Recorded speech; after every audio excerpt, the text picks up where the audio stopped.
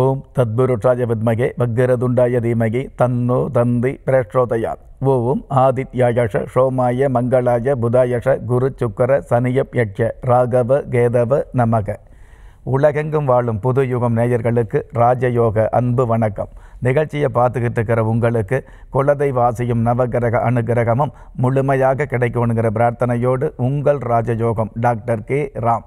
Astro three sixty நிகழ்ச்சியில் இன்றைக்கி நம்ம பார்க்க போகிறது கார்த்திகை மாதம். அதாவது தமிழ் மாதங்களில் விருட்சிக மாதம் என்று மிகப்பெரிய பெயரோடு அழைக்கப்படுகிற மிகப்பெரிய வீரியத்தை கொடுக்கக்கூடிய உங்களுடைய காரியமெல்லாம் கைகூடி வரக்கூடிய மாதம்தான் இந்த கார்த்திகை மாதம். பொதுவாகவே கார்த்திகை மாதத்தில் நேர்த்தியாக விரதம் இருந்து உங்களுடைய வேண்டுதல் வச்சுக்கிட்டீங்க அப்படின்னா உங்களுடைய வேண்டுதல்கள் பூர்த்தியாகுதுங்கிற விஷயத்தை நமக்கு மாத சாஸ்திரம் சொல்லி வச்சுருக்குது.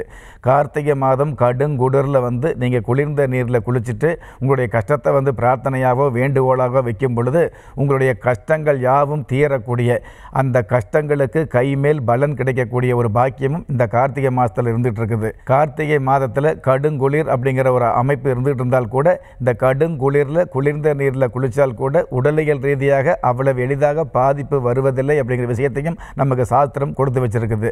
அந்த மாதிரி உடல் ரீதியாகவும் மனோ ரீதியாகவும் மிகப்பெரிய பக்கபலமாக இருக்கக்கூடிய உங்களுடைய வேண்டுதல்கள் நிறைவேறக்கூடிய உங்களுடைய விரதத்திற்கு வீரியம் கொடுக்கக்கூடிய உங்களுடைய கஷ்டங்களுக்கெல்லாம் கைமேல் பலன் தரக்கூடிய அதிர்ஷ்டம் தரக்கூடிய அற்புதமான மாதமாக இந்த கார்த்திகை மாதம் வந்துட்டு இருக்குது இது எல்லாவற்றுக்கும் மேலாக இந்த கார்த்திகை மாதம்தான் சபரிமலை ஐயப்பனுக்கு சபரிமலை சாஸ்தாவுக்கு கன்னிமூல கணபதியாக விளங்குகிற அந்த ஐயப்ப சுவாமிக்கு இருமுடி கட்டி அதாவது கார்த்திகை மாதம் முதல் தேதியில் மாலை அணிந்து கடும் குளிரில் விரதம் இருந்து அதற்கப்புறம் இருமுடி கட்டி பயணம் செல்லக்கூடிய பாக்கியம் மிகப்பெரிய அமைப்பாக இருந்துகிட்ருக்குது.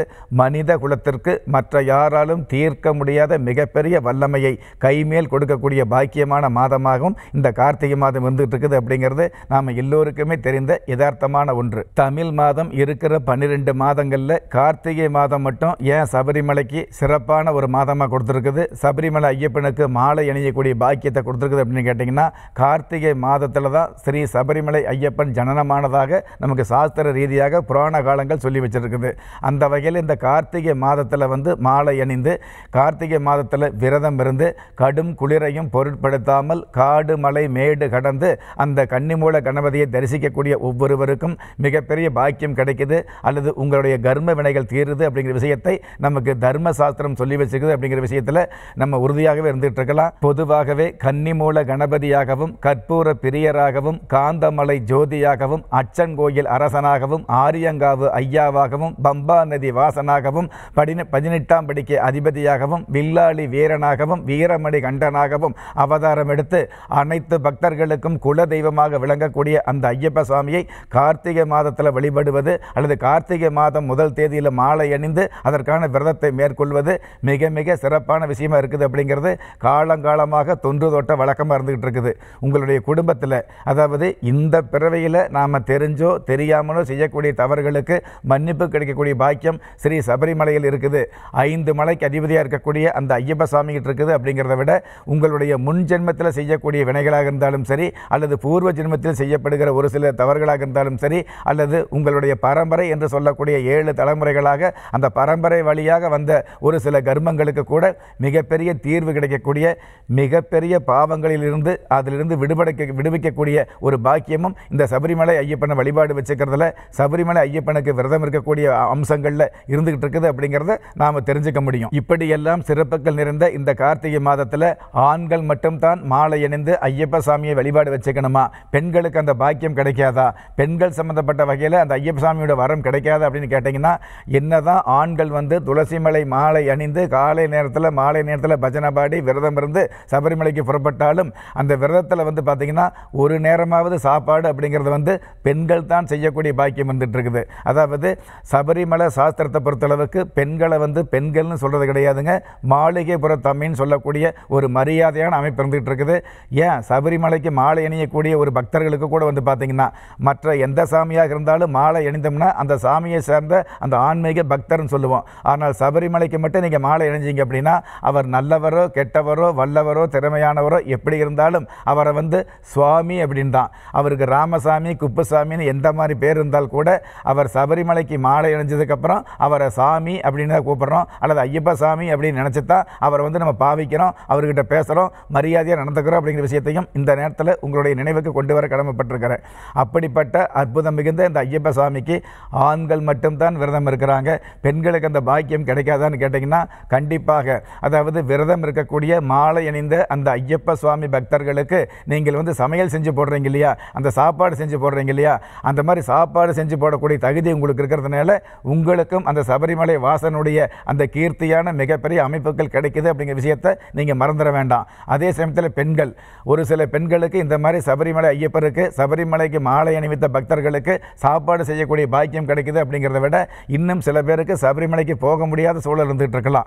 சபரிமலைக்கு போகக்கூடிய வசதிகளோ வாய்ப்புகளோ உடல்நிலை சம்மந்தப்பட்ட விஷயங்களில் வந்து ஒரு அமைப்புகள் இருந்தது அப்படின்னா சபரிமலைக்கு இருமுடி கட்டி போகிறோம் ஒரு சில பேருக்கு சபரிமலைக்கு போக முடியாத ஆண்களாகவே இருந்தால் கூட அவங்க என்ன பண்ணலாம் அப்படின்னு கேட்டிங்கன்னா சபரிமலைக்கு எந்த சுவாமி போகிறாங்களோ அதாவது எந்த ஒரு ஐயப்ப பக்தர் சபரிமலைக்கு மாலை அணிந்து இருமுடி கட்டி சபரிமலைக்கு புறப்படுகிறாரோ அன்றைய நாள் வந்து நீங்கள் விரதம் இருந்து சுத்தபத்தமாக இருந்து ஒரு நெய் தேங்காய் கொடுத்து வரலாம். பொதுவாகவே சபரிமலைக்கு போகிற பக்தர்கள் வந்து இருமுடி பையில் அரிசி சம்மந்தப்பட்ட பூஜை சம்மந்தப்பட்ட பொருட்கள் இருந்தால் கூட அதில் வந்து தேங்காய் அப்படிங்கிறது முதலிடமாக இருந்துகிட்டு இருக்குது அந்த தேங்காயில் வந்து நெய் தேங்காய் அப்படிங்கிறது முக்கியமான அம்சமாக இருந்துகிட்டு இருக்குது யார் ஒருவர் சபரிமலைக்கு ஸ்ரீ சபரிமலை ஐயப்ப சுவாமிக்கு சரியான வகையில் முறையான வகையில் விரதம் இருந்து எந்த வித எதிர்பார்ப்பும் இல்லாமல் உங்களுடைய கோரிக்கைகளை வேண்டுதலாக வச்சுக்கிட்டு சரியான விரதம் இருக்காங்களோ அவர்களுக்கு இந்த இருமுடி கட்டு கட்டும் பொழுது ஒரு தேங்காயில் வந்து நெய்யை ஊற்றும் பொழுது அந்த நெய் தண்ணீர் மாதிரி திரவம் மாதிரி இருந்தால் கூட அந்த நெய்யை வந்து அந்த இருமுடி பையில் அந்த தேங்காயில்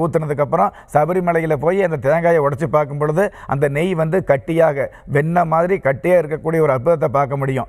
ஒருவர் வந்து சரியான வகையில் விரதம் இருந்து சரியான வேண்டுதல் வச்சுக்கிட்டு சரியான பக்தியாக இருந்து அந்த நெய் தேங்காய் கொண்டு போகும் பொழுது அந்த நெய் தேங்காயில் நெய்யாக ஊற்றப்படுகிற தண்ணீராக அது திரவமாக ஊற்றப்படுகிற அந்த நெய் வந்து சபரிமலையில் உடச்சி பார்க்கும் பொழுது அந்த தேங்காய்க்குள்ளே வந்து கண்டிப்பாக அது வெண்ணெய் மாதிரி கட்டியாக இருக்கக்கூடிய ஒரு பாக்கியத்தை நம்ம அடைய முடியும் பாக்கியத்தை பார்க்க முடியும்.